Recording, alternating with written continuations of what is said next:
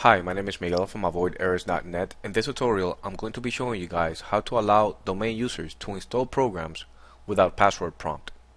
I have created this super users group and all the users I add here are going to be able to download and install softwares, like teachers for example, or supervisors in a company. They need to install a specific software that pertains to their class or work.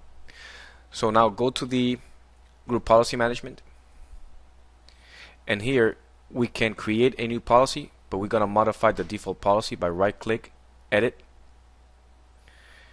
expand policies under computer configuration Windows settings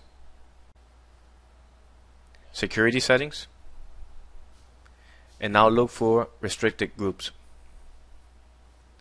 Select that. I have already added the super users group but if you want to add a group just right click on the right pane and select add group. Browse for that group. Now once you have added that group you can from here add the users or you can just add users to that group via Active Directory users and computers both ways. Just right click the group properties and here you can add members to this group or you can add this group to be a member of another group. This gives admin rights on the local computer for everyone in that policy. Thank you for watching this video. My name is Miguel. If you have any questions, feel free to post them in the comment section below. Thank you.